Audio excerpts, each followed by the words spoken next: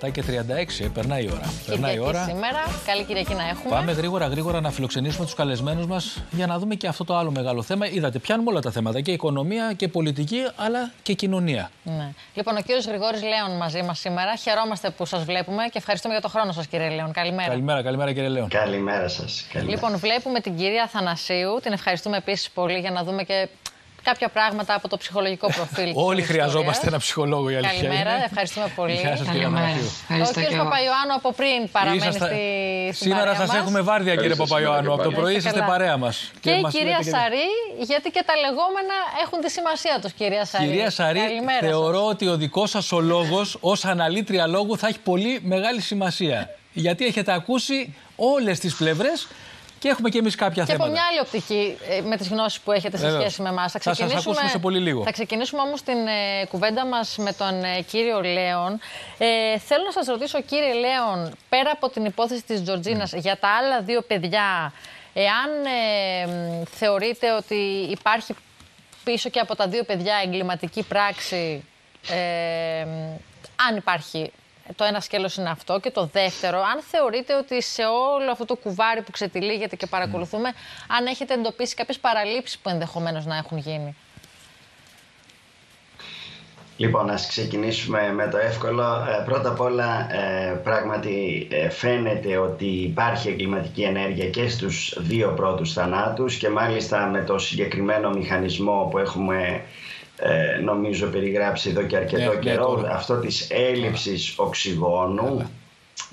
και μάλιστα πρέπει να σας πω το εξής. Όσον αφορά το πρώτο παιδί, ε, νομίζω ότι την απάντηση και τη λύση πέρα από την τριμελή επιτροπή την οποία περιμένουμε το πόρισμά της και είμαι βέβαιος ότι είναι στη σωστή κατεύθυνση ε, θα δώσει σίγουρα και ο α, καθηγητής παθολογικής ανατομικής ο κύριος Αγαπητός ο οποίος έχει κάνει μια εξαίρετη δουλειά και το λέω αυτό γιατί, γιατί αν δείτε τα κυριότερα ευρήματα που έχουμε ειδικά για το πρώτο παιδί για τη Μαλένα είναι ευρήματα τα οποία ανέδειξε ο ίδιος. Ο ίδιος λοιπόν είδε στο μικροσκόπιο mm-hmm. τους πνεύμονες της μικρής, είδε το ύπαρ, είδε όλα τα όργανα ε, και νομίζω ότι μπορεί να εκφράσει μια ξεκάθαρη άποψη με το τι ακριβώς ταιριάζει, δηλαδή ποια είναι η αιτία θανάτου αν θέλετε ή ποια είναι τα ευρήματά του ε, ουσιαστικά και να δώσουν φως στην υπόθεση γιατί εκεί και να απαντήσω έτσι έμεσα και στην ε, δεύτερη ερώτησή σας εκεί στην πρώτη έκθεση έχουμε πράγματι προβλήματα με την, τόσο αν θέλετε με την καταγραφή ε, για παράδειγμα με την καταγραφή της αιτίας θανάτου. Ναι. Υπάρχει ένα σοβαρό θέμα. Ουσιαστικά ε, άλλο δηλώνει ο παθολογανατόμος ε, κατά την κρίση μου αλλά ε, άλλο φαίνεται ότι ουσιαστικά καταγράφει η ιατροδικαστής ως αιτία θανάτου. Και αυτό νομίζω επίσης θα ξεκαθαριστεί με τις καταθέσεις, γιατί σας θυμίζω ότι αυτή τη στιγμή είμαστε σε μια εισαγγελική διαδικασία. Επίσης, φαίνεται ότι υπάρχουν προβλήματα ε, και ως προς τη λήψη των δειγμάτων. Για παράδειγμα, ε, σε ένα τέτοιο περιστατικό, ένα πολύ ζωτικό όργανο το οποίο πρέπει να μελετήσει το μικροσκόπιο ε, είναι ο εγκέφαλος. Μάλιστα. εδώ, εδώ ουσιαστικά φαίνεται ότι ο εγκέφαλος στο πρώτο περιστατικό δεν αποστέλλεται για μικροσκοπική εξέταση, πράγμα το οποίο προφανώς και είναι ένα επιπλέον πρόβλημα.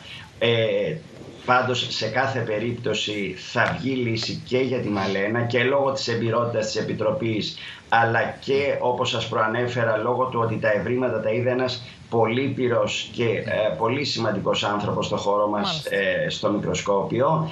Και όσον αφορά το δεύτερο εκεί νομίζω τα πράγματα είναι ξεκάθαρα. Είναι ε, ακόμα και ένας ε, νέος ιατροδικαστής, αν διαβάσει τον ορισμό του ασφιχτικού θανάτου με απόφραξη αεροφόρων οδών και δει τα ευρήματα που έχουμε στο δεύτερο παιδί στην Ήριδα, νομίζω δεν θα Πάμε στον κύριο Παπαϊωάννου, γιατί τον είχαμε και νωρίτερα, κύριε Λέων, δεν ξέρω αν μας είχατε ακούσει.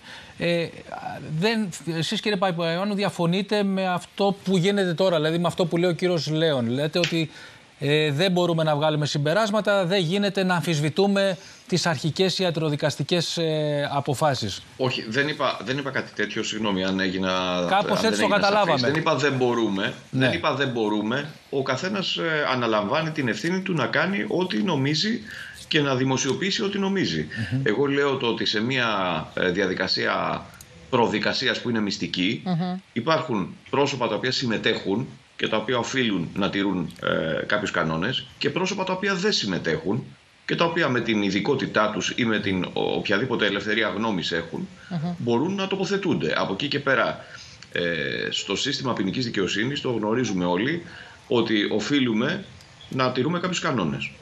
Ε, Εσείς αυτά που είπε, μισό κύριε Παπαϊόνου, αυτά που είπε ο κύριος Λέων, διαφωνείτε σε αυτά που λέει; Εάν δεν θα μπορούσα να διαφωνήσω γιατί δεν είμαι ειδικός, δεν έχω γνώμη επί όλων των θεμάτων.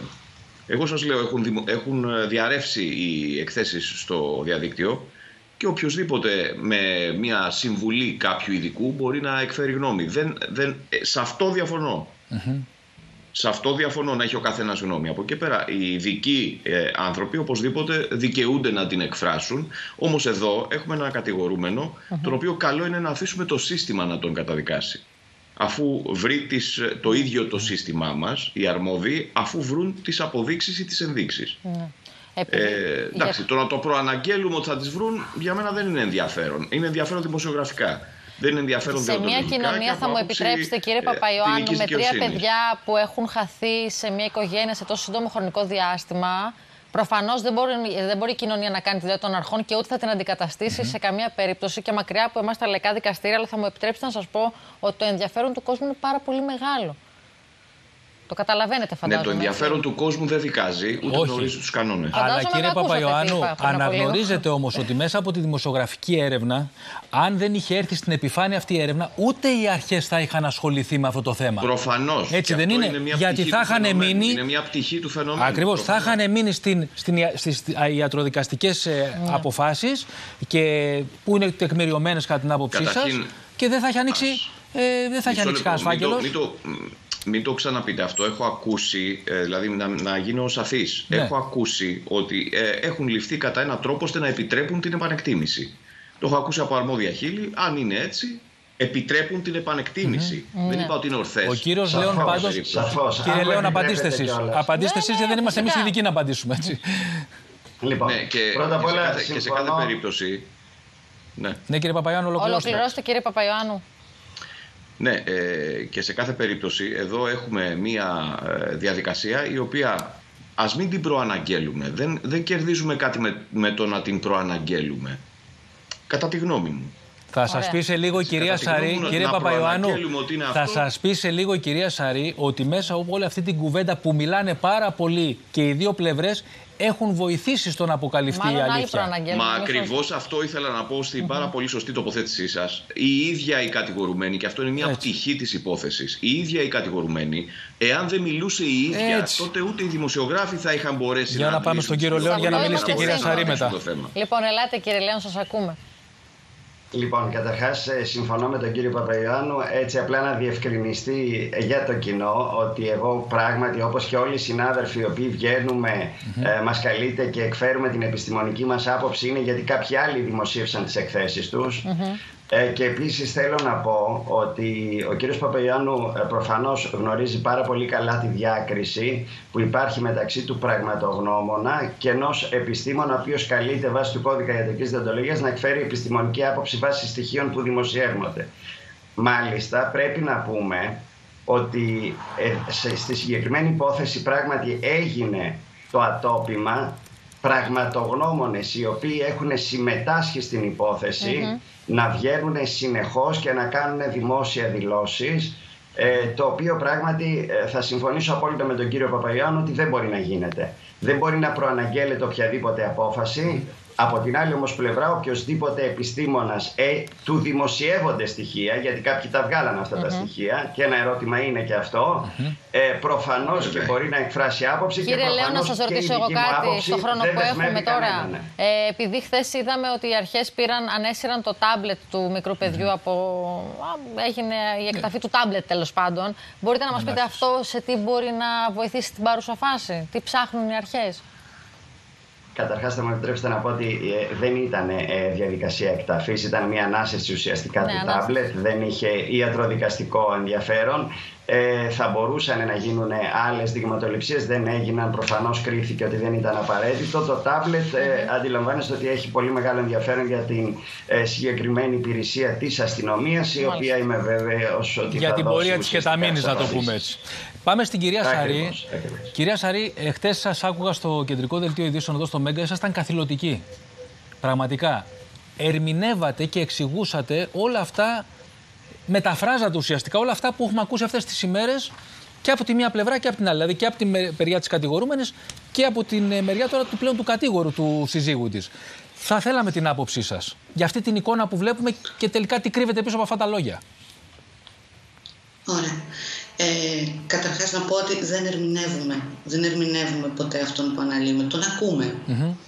Τον ακούμε, τον πιστευουμε και ε, αναρωτιόμαστε εκεί που προκύπτουν ερωτήματα τι τον έκανε να εκφραστεί με ένα συγκεκριμένο Δηλαδή προσπαθούμε να μην ερμηνεύουμε στην ανάλυση. Δεν, είναι σωστό να ερμηνεύουμε.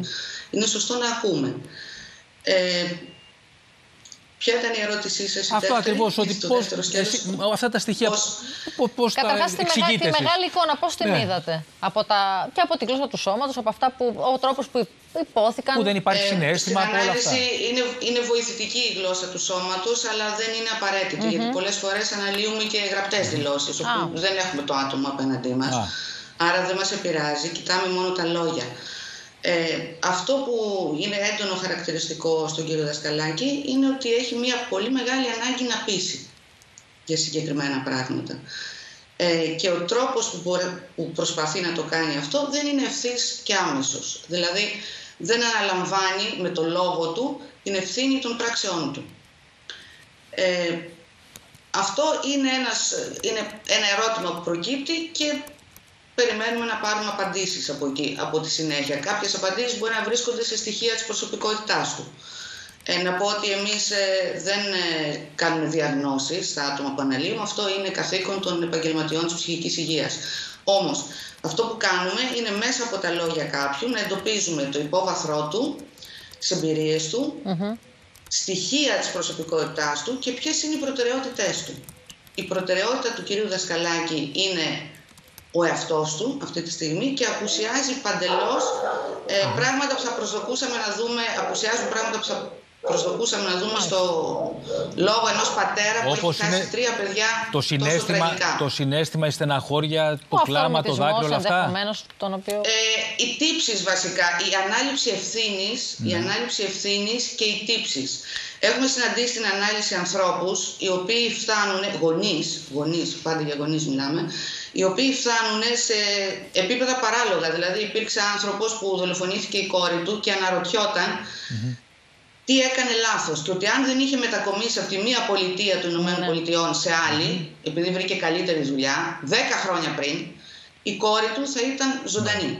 Μάλιστα. Ο γονιός προστατεύει το παιδί. Το φροντίζει, το προστατεύει. Είναι φυσικό λοιπόν ο γονιός να αναρωτιέται αν έκανε κάτι λάθος, αν κάτι παρέλειψε να κάνει mm πώς απέτυχε να προστατέψει το παιδί του. Αυτό απουσιάζει τελείως από το λόγο του κ. Δασκαλάκη. Είναι επικεντρωμένος στον εαυτό του και βέβαια δεν αναλαμβάνει ευθύνη, μιλάει πάντα υπενικτικά. Ένα μικρό παράδειγμα, ας πούμε. Ε, λέει, έχει πει αρκετές φορές: Θέλω να ακουστεί η αλήθεια. Για να καταλάβουμε γιατί πράγμα μιλάμε. Αυτός είναι υπενικτικός λόγος. Θέλω να ακουστεί η αλήθεια. Δεν λέει λέω την αλήθεια. Είναι διαφορετικά πράγματα. Μάλιστα. Λοιπόν, Θέλω να ακουστεί η αλήθεια, είναι μια πρόθεση. Δεν ξέρω αν ο κύριος Παπαϊωάννου θέλει να προσθέσει κάτι, γιατί θα πρέπει να τον αποδεσμεύσουμε.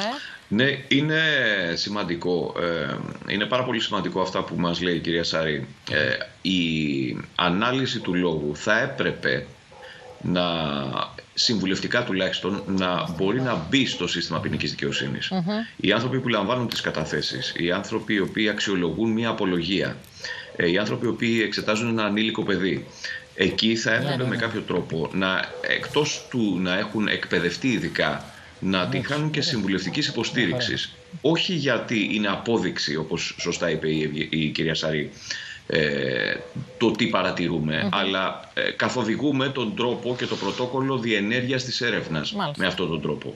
Δεν είναι κακό, ξέρετε, δεν είμαστε ούτε όλοι οι αστυνομικοί, ούτε όλοι οι δικαστές, ούτε όλοι οι εισαγγελείς ε, πεπαιδευμένοι στο να αναγνωρίζουμε Πάντως, ε, κύριε Παπαϊωάννου, χωρίς να θέλω και με αυτό να σας ευχαριστήσω, χωρίς να θέλω να μειώσω τη δουλειά της κυρίας Σαρή, Σαρής, αλλά αυτό που μας είπε τώρα είναι κοινή λογική, κυρία Σαρή. Δηλαδή, αυτά που είδατε εσείς και ερμηνεύσατε και αναλύσατε και αποτυπώσατε, να το πω έτσι, τα έχουμε δει όλοι. Δηλαδή δεν είναι και τόσο δύσκολο, καταλάβατε πώς το λέω. Ναι, ναι, ναι, βεβαίως, το καταλαβαίνω. Να ευχαριστήσουμε τον κύριο Παπαϊωάννου για να γιατί έχει να τον αποδεχτούμε. Σα ευχαριστούμε και εμείς πολύ. Είδαμε τώρα τι λέει ο Μάρσος Δασκαλάκης. Να δούμε από τη μεριά τώρα τη κατηγορούμενη κυρία Θανασίου. Πώς βλέπετε τη συμπεριφορά της κατηγορούμενης, Η οποία είναι μια μάνα, να, να, πούμε έτσι. Δηλαδή, ναι. μην το ξεχνάμε αυτό. Και γιατί, το επειδή κυρία Θανασίου, και καλημέρα σας και πάλι. Καλημέρα και πάλι. Επειδή έχουμε μπει λίγο και στη συζήτηση για το ζευγάρι, γιατί ο ένας λέει ναι. αρκετά πράγματα για τον άλλο, οι ίδιοι μας δίνουν και εμάς τροφή. Ε, Όμως στις κουβέντες που κάνουμε όλοι, διαρωτόμαστε πώς είναι δυνατόν μια μάνα να φτάνει σε ένα τέτοιο σημείο, γιατί υπάρχει πια δικογραφία στον κορυδαλό η, η κυρία Πισπυρίγκου. Δεν είναι δηλαδή ότι και αυτό το έχουμε βγάλει από το μυαλό μας. Ελάτε. Ξέρετε, το έχω ξαναπεί, στο, στο συλλογικό ασυνείδητο υπάρχει η εικόνα του θρήνου για κάποιον πατέρα ή μητέρα που χάνει το παιδί του.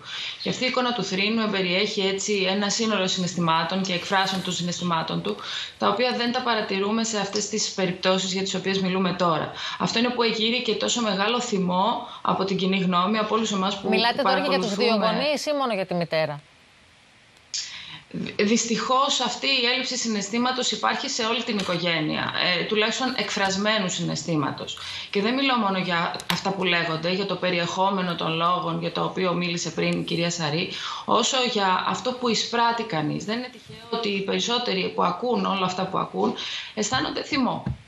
Δηλαδή ε, η συναισθηματική αντίδραση κάποιου που βλέπει ή ακούει όλη αυτή την ιστορία, την συγκλονιστική και τραγική, ε, βιώνει αυτή την ένταση των, του θυμού, γιατί υπάρχει αυτή η ασυμβατότητα μεταξύ του συμβάντος και της αντίδρασης σε αυτό το συμβάν. Είναι βέβαιο ότι δεν μπορούμε ούτε να ποινικοποιήσουμε την ε, αντίδραση στον πόνο, στο θρήνο, στην απώλεια.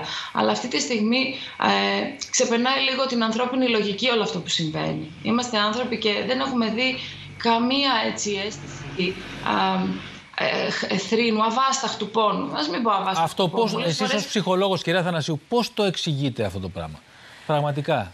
Τι μηχανισμός υπάρχει μέσα στον εγκέφαλο του καθενός και στη συγκεκριμένη περίπτωση της μητέρας να έχει απορρίψει αυτό το πράγμα ότι έχει χάσει τρία παιδιά; Ε, σε, σε σχέση με τη συγκεκριμένη μητέρα δεν μπορώ να αναφερθώ γιατί δεν έχουμε μιλήσει με την κυρία Σπυρίκου, δεν, έχουμε, δεν την έχουμε απέναντί μας αυτή τη στιγμή. Μπορώ να πω ότι σε περιπτώσεις απώλειας ενδεχομένως και να συναντήσουμε ε, κάποια άμυνα που την αποκαλούμε μόνωση του συναισθήματος ή άρνηση για αυτό που έχει συμβεί.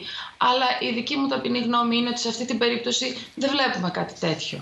Ακόμα και όταν υπάρχει μόνος του συναισθήματος, βλέπουμε από εξωγλωσσικά στοιχεία κάποιες ε, αντιδράσεις οι οποίες μας παραπέμπουν σε κάποιο είδος πόνου. Αυτή τη στιγμή αυτό που μας ε, ε, κρατάει σε αυτή την έντονη έτσι, συναισθηματική αντίδραση ως ε, δέκτες αυτής της κατάστασης είναι το γεγονός ότι όλη η οικογένεια αντιμετωπίζει σχεδόν με τον ίδιο τρόπο το συμβάν της απώλειας των τριών παιδιών. δεν έχουμε δει καμία έκρηξη. Λέτε σαν, να είναι, σαν να είναι ξένα τα παιδιά αυτά προς την οικογένεια, κάπως έτσι το αντιλαμβανόμαστε. Είτε, είτε αυτό, είτε σαν συναισθηματικά να, να μην έχουν λειτουργήσει σε όλους ταυτόχρονα mm.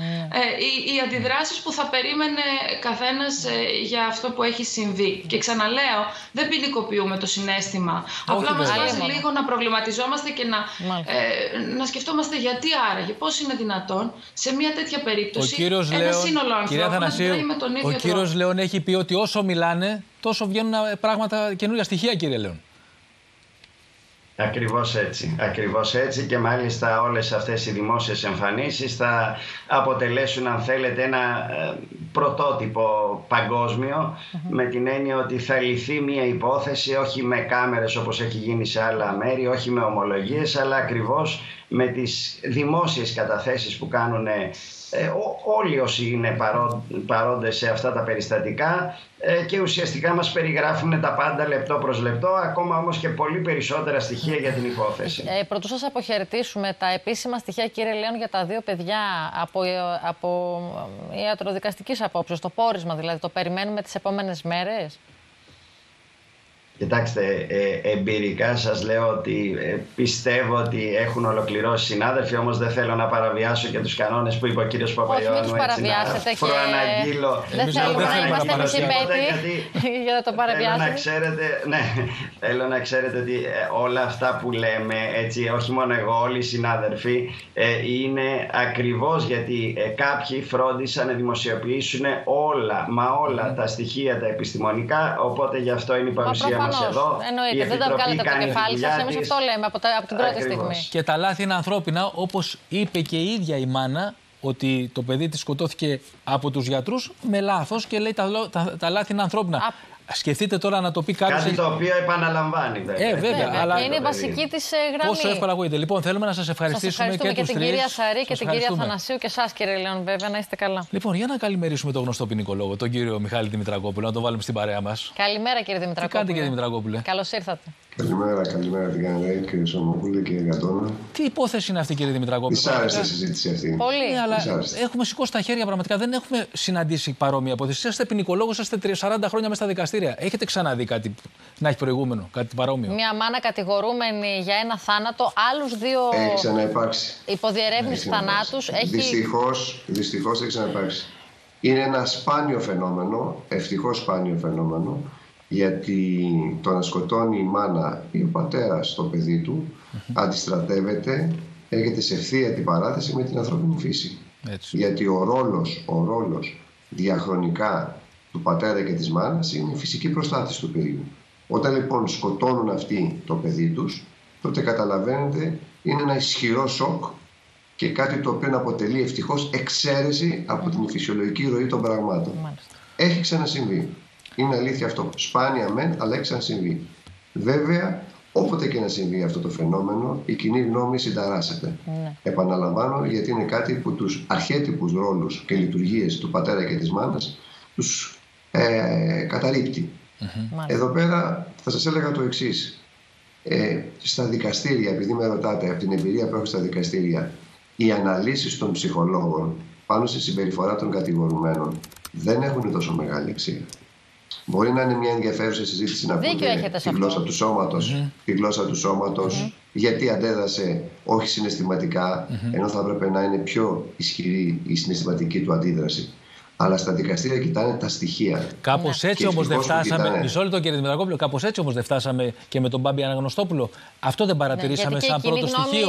Έτσι είχε διαμορφωθεί. Θυμάστε τότε που λέγαμε ότι βγαίνει και μιλάει. Θυμάμαι, σας λέω, σας λέω ότι από τις πρώτες ημέρες, mm-hmm. λόγω δουλειάς, γιατί mm-hmm. μιλάμε με τους αστυνομικούς. Ναι. Έτσι, ήταν στους πρώτους υπόπτους και δεν ήταν ο λόγος το ότι είχε ψυχρή συμπεριφορά ήταν τα αντικειμενικά δεδομένα. Καλά, προφανώς αλλήμον αν κάποιος επειδή είχε ψυχρή Άλλων ανθρώπων μέσα στον χώρο που έγινε το έγκλημα. Και εδώ σας λέω, ναι. πραγματικά μας σοκάρει μια μάνα Ωραία. και ένας πατέρας να λένε Πέθανε το παιδί μου, κατέληξε. Για έναν πατέρα και για μια μάνα είναι τραγωδία το να πεθάνει το παιδί. Κύριε δεν μπορείς να το συνειδητοποιήσει.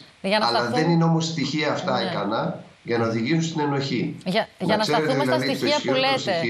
Ναι. Με συγχωρείτε που σας διακόπτω, αλλά ναι, ακούσαμε τον ίδιο τον πατέρα για τα στοιχεία να βγαίνει από τα δικαστήρια και να λέει ότι τα στοιχεία είναι αδιάσυστα για την ίδια την σύζυγό του, ότι, έχει, ότι είναι εκείνη που ευθύνεται για το θάνατο του ενός παιδιού. Μιλάμε πάντα για την Τζορτζίνα. Έχουμε άλλους δύο υποδιερεύνηση θανάτους. Ε, πριν από λίγη ώρα φιλοξενήσαμε τον κύριο Λέων, δεν ξέρω αν προλάβατε να τον ακούσετε. Περιμένουμε και το πόρισμα των ιατροδικαστών για τα άλλα δύο παιδιά.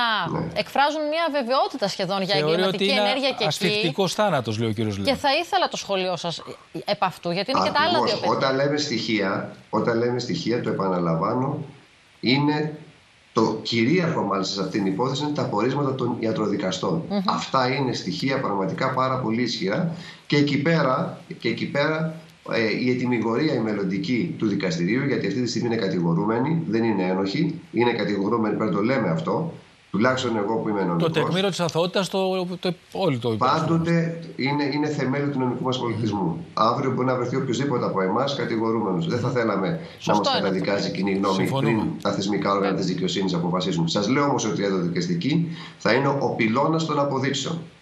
Και αυτή τη στιγμή, πότε εξεδόθη το ένταλμα συλλήψεως, εξεδόθη με τις αναλύσεις των ψυχολόγων. Ειλικρινά, θα ήταν αστείο να λέμε ότι ένα ένταλμα συλλήψεως μπορεί να το οδηγήσουν οι ψυχολόγοι του και ενδεχομένως και η ψυχία τους, οποίους του σέβομαι. Όχι. Μόλις βρέθηκε και τα μήνυ στο αίμα της uh, σωρού έτσι, και ήταν σε τέτοια επίπεδα που ήταν θανατηφόρος. Από εκεί και πέρα εξεδόθη το ένταλμα συλλήψεως. Να ξέρετε όμως ότι το ένταλμα συλλήψεως και η ποινική δίωξη ασκείται με επαρκείς ενδείξεις. Για να φτάσουμε όμως στην καταδίκη, γιατί με ρωτάτε σαν νομικό, πρέπει να πάρει πλήρης βεβαιότητα και πεποίθηση του δικαστηρίου. Μάλιστα. Εάν έχει αμφιβολίε στο δικαστήριο, θα δώσει. Έτσι λέει ο κώδικας ποινικής δικονομίας. Θα πρέπει λοιπόν για να μην υπάρχει παραμικρή αμφιβολία στο μέλλον στο δικαστή, να μπορέσει το δικαστήριο να έχει τέτοια στοιχεία που να οδηγήσουν ότι και τα μήνυα αυτή 100% προέρχεται από θανατηφόρο ενέργεια της μητέρας. Επειδή έχουμε αρκετές απορίες. Και γι' αυτό η αστυνομία το ψάχνει. Νομίζετε τυχαία το ψάχνει η αστυνομία πώς έφτασε και τα μήνυς στα ψάχνει χέρια τη της κατηγορουμένης; Ναι. Το δρόμο, πώς κατέληξε στο παιδί. Κύριε Δημητρακόπουλε, μέχρι στιγμής η κυρία Πισπυρίγκου ε, δεν έχει ομολογήσει. Μπορεί να μην το κάνει και ποτέ. Mm. Εμείς εδώ δεν μπορούμε δεν να το ξέρουμε αυτό. Δεν είναι απαραίτητο όπως λέτε κι εσείς.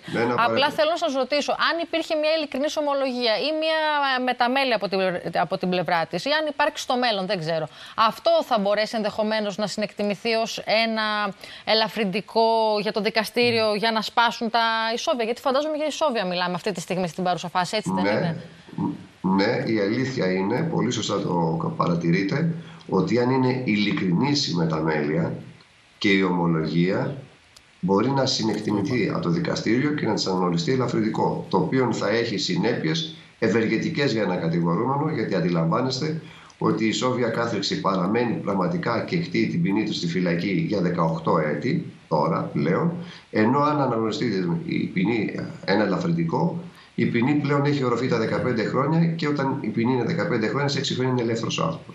Ε... Να ξέρετε όμως ότι μετά την τελευταία απόφαση mm-hmm. της ονομελίας του Αρίου Πάγου, τα, ελαφρυ... τα ελαφρυντικά σε τόσο σοβαρά αδικήματα δύσκολα θα αναγνωρίζονται από τα δικαστήρια γιατί ε, έβαλε μια παράμετρο μια ο που λέει ότι η ποινή θα πρέπει να είναι ανάλογη mm-hmm. της προσβολής που κάνει στα ένομα αγαθά του ανθρώπου. Εδώ έχουμε παιδί το οποίο σκοτώνεται. Καταλάβατε, είπατε και κάτι άλλο πριν, βέβαια. Να μείνουμε λίγο στην πορεία. Μην ξεπεράσουμε, επειδή είπατε για την πορεία της κεταμίνης. Ναι. Κύριε Δημητρακόλου, μην το ξεπεράσουμε αυτό. Επειδή είπατε ότι πώς φτάσαμε ναι. στην, ναι. ε, στη δίωξη. Και είπατε και ότι η μικρή μας έχει ομολογία. Ότι βρέθηκε. Βρέθηκε λοιπόν η κεταμίνη στο σωματάκι της Ζορτζίνα. Εδώ λοιπόν τώρα έχουμε ένα ζητούμενο. Οι κατηγορούμενοι λέει ότι το έβαλαν οι γιατροί από ανθρώπινο λάθος και το αναγνωρίζω. Προσέξτε, είναι, έχει και μεγαλοψυχία. Ε. Αναγνωρίζει το ανθρώπινο λάθος των γιατρών με βάση τα δικά της να σκότωσε το παιδί της. Κάποιος γιατρός ανέβαλε την κεταμίνη. Τέτοια λάθη, τέτοια λάθη δεν τα συγχωρεί ο πατέρας. Αυτό θα έλεγα. Ιατρικό λάθος θα ορμήξει να το σχίσει. Ακριβώς. Αλλά και πάλι, και πάλι μην μένουμε μόνο στις ψυχολογικές αντιδράσεις. Είναι ένας ενδείχτη κι αυτός. Ωραία. Έχουμε λοιπόν αυτή τη στιγμή αυτά τα. Το πιο ισχυρό είναι να βρούμε τα στοιχεία. Ότι πράγματι μπήκε από την. Δεν βρίσκουμε λοιπόν. Πείτε ότι δεν μπορεί η αστυνομία να καταλήξει την διαδρομή. Δεν μπορεί να βρει τη διαδρομή της κεταμίνη. Αλλά τι ναι. έχουμε, ότι το παιδάκι έμεινε 20 λεπτά με τη μητέρα του, και κατέληξε, όπως λέει η ίδια η μάνα, χρησιμοποίησε αυτή την ορολογία, απίθανη ορολογία, έτσι. Απίθανη, ε, ψυχρή εντελώς. Με την κεταμίνη στο σωματάκι του. Μόνο με αυτά τα στοιχεία πιστεύετε ότι μπορεί να καταδικαστεί; Δεν θα ήθελα να κάνω διάγνωση, όπως αντιλαμβάνεστε, τηλεοπτική. Θα πρέπει να δούμε και να συναξιολογήσουμε το σύνολο των δεδομένων της δικογραφίας. Δεν τα έχουμε αυτά και δεν τα έχω εγώ. Δεν μπορώ ποτέ, θα ήταν επιπολαιότητα από τη δικιά μου την πλευρά, χωρίς να γνωρίζω μια δικογραφία, να πω είναι επαρκή αυτά τα στοιχεία. Σας λέω όμως ότι είναι ισχυρότατες ενδείξεις, εάν μάλιστα έρθουν και καταθέσεις που πιστοποιήσουν χωρίς ίχνος αμφιβολίας ότι η κεταμίνη δεν χρησιμοποιήθηκε από το νοσοκομείο. Μάλιστα. Από την άλλη πλευρά θα έλεγα, επειδή και τα μήνυ, κυρία Σομόπουλε και κυρία Καντώνα, ή η κυρία Καντώνα και κύριε Σομόπουλε, είναι ένα ναρκωτικό το οποίο βρίσκεται στις πιάτσες των τοξικομανών. Σας το λέω διότι η εργασία μου ε, μου έχει δώσει τέτοια γνώση. Θα πρέπει να συνεργαστούν με τη δίωξη ναρκωτικών των πατρών να πάνε στις πιάτσες γιατί από εκεί πέρα μπορεί να αντληθούν mm. πλούσια στοιχεία για το πώς μετακινήθηκε η κεταμίνη. Έτσι. Δεν είναι ένα σπάνιο προϊόν το οποίο θα πρέπει να έχεις ειδικές γνώσεις ή να πας σε μια φάρμακαποθήκη για να το προμηθευτείς ή να πρέπει να μπεις στο διαδίκτυο. Αρκεί να πας μια βόλτα, ειλικρινά σας μιλάω, σε μια πιάτσα τοξικομανών ναι. είναι ένα πολύ φθηνό ναρκωτικό υποκατάστατο της κοκαίνης και εκεί πέρα μπορεί να βρεθούν στοιχεία ισχυρά που θα θεμελιώσουν πλέον 100% την σύνδεση mm. της κατηγορουμένης, επαναλαμβάνω, με αυτό το αποτρόπαιο αποτέλεσμα. Εσείς κύριε Δημητρακόπουλε δηλαδή, με την εμπειρία που έχετε, που είναι τεράστια ναι. εμπειρία, εσείς είστε όλη μέρα στα δικαστήρια πρωί βράδυ. Έχετε καταλάβει ποιο μπορεί να είναι το κίνητρο αυτής της γυναίκας που να ξεπερνάει το μητρικό ένστικτο; Κοιτάξτε, και η βιβλιογραφία και η νομολογία ε, όταν καταλήγουν ε, τα δικαστήρια σε ενοχή μιλάμε για περιπτώσεις ψυχοαποθαλογικές. Δηλαδή είναι ψυχοσικές ας πούμε εξάρσεις που οδηγούν μια μάνα να σκοτώσει το παιδί της. Μια φυσιολογική γυναίκα δεν μπορεί να σκοτώσει το παιδί της. Από εκεί και πέρα πάντοτε έλεγα ότι ίσως να είναι χρήσιμο να γίνει και μια ανάλυση της προσωπικότητας από ένα ψυχίατρο, όχι επαναλαμβάνω ψυχολόγο. Γιατί μπορεί μέσα από αυτή την ψυχιατρική ε, πραγματογνωμοσύνη να προκύψουν και στοιχεία άλλα ψυχοσικά. Αυτή όμως δηλαδή, η πραγματογνωμοσύνη θα μπορούσε. Μισό λεπτό. Θα μπορούσε, να είναι ψυχοσική. Θα μπορούσε όμως να οδηγήσει.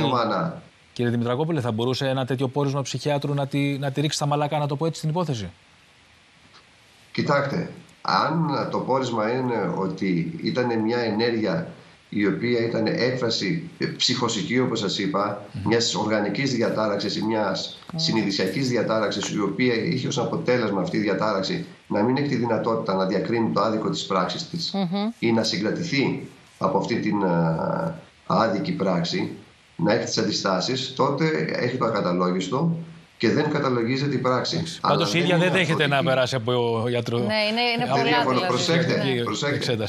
Εάν καταδικαστεί κάποιο, αθωωθεί από την πρόθεση, μετά υπάρχει εγκλισμός σε ψυχιατρικό κατάστημα, ο οποίος μπορεί να είναι ισόβιος εγκλισμός. Βλέπουμε στα δικαστήρια που έχουν αθώσει στο εξωτερικό τέτοιες γυναίκες ε, λόγω έλλειψης καταλογισμού της πράξης, ότι μετά περνάνε 15-20 χρόνια στα ψυχιατρία που θέλω να με πιστέψετε δεν είναι καλή η παραμονή σε ένα ψυχιατρίο. Αλλά ένας άρρωστος άνθρωπος δεν μπορεί να του καταλογίσεις. Θέλουμε να σας Αυτά όμως θα τα κρίνουν οι ψυχίατροι. Μιλάμε σε εντελώς ε, θεωρητικά επίπεδα. Μην νομίζετε ότι ένας δικηγόρος ε, όταν λέει ότι άλλος είναι για, για ψυχιατρικό εγκλισμό, ότι το αθωώνεται, πέφτει στα ναι, μαλακά, καθόλου μαλακά δεν πέφτει. Είναι άρρωστος και πηγαίνει εκεί που πρέπει να πάει. Εδώ όμως μέχρι στιγμής δεν υπάρχει τέτοια ένδειξη. Μένουμε καθαρά στα εγκληματολογικά στοιχεία. Ναι. Σας λέω είναι συγκλονιστικό. Και θα έχουμε και συνέχεια δυστυχώς από ό,τι φαίνεται. Η κοινή γνώμη, ειλικρινά σας μιλάω, το βλέπει με πολύ, μεγάλη, με πολύ μεγάλο ενδιαφέρον. Εγώ ήμουν πρόσφατα σε δικαστήριο στην Εσύρο. Κανένας δεν με ρώτησε για καμία άλλη υπόθεση παρά τι γίνεται στην Ελλάδα. Πιστέψτε μας, και εμείς όπου βρεθούμε αυτό μας ρωτάνε, που δεν είμαστε δικηγόροι βέβαια, είμαστε δημοσιογράφοι. Και παίρνουμε μηνύματα και μας λένε ότι πολύ ωραίος και επιστημονικός ο λόγος σας. Σας ευχαριστούμε πολύ για το χρόνο λοιπόν, σας.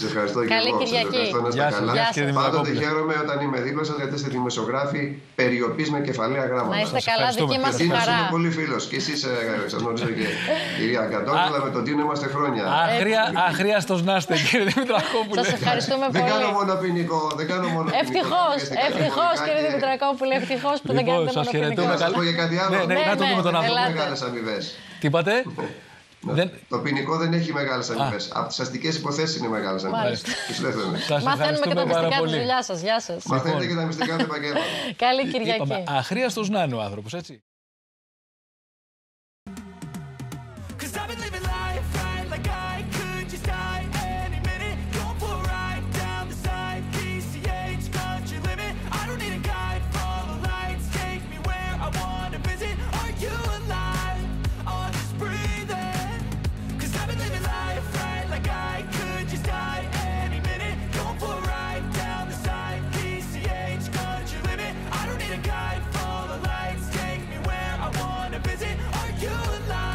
Φέτος το χειμώνα όλη η Ελλάδα σε περιμένει.